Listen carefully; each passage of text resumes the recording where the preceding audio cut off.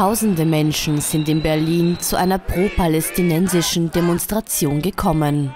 Rund 3200 Menschen nahmen in der Spitze am Samstagnachmittag an der Veranstaltung mit dem Titel Solidarität für Palästina teil, wie eine Polizeisprecherin am Sonntag sagte.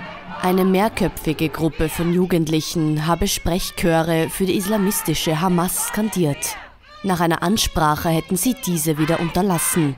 Einige tausend Menschen haben sich in mehreren deutschen Städten auf pro-palästinensischen Demonstrationen versammelt. Mit Sprechchören sowie auf Schildern und Transparenten forderten die Demonstrierenden unter anderem Freiheit für Palästina und nannten das Vorgehen Israels im Gazastreifen einen Genozid.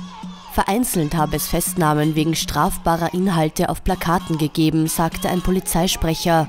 Auch seien die Personalien von einer Ordnerin festgestellt worden, die einen Pressevertreter bedroht haben soll. Wie viele Festnahmen es gab, konnte zunächst noch nicht abschließend mitgeteilt werden.